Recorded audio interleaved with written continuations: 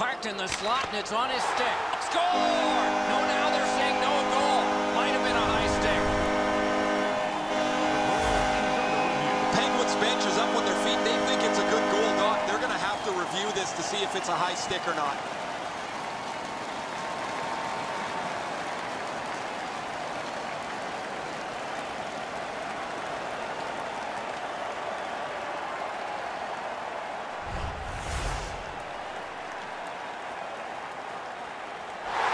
The home crowd exhales all at the same time. Now they can cheer. The reviewed goal is now considered a good goal.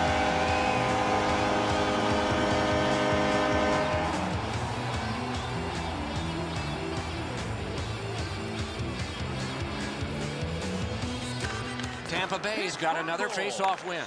Gains the zone and looks over his options. Gets on by. A neutral zone carry to Neal. Victor Hedman. Two sticks together, it goes to the offense. Picked up between the blue lines by Green. Gets in, and they score!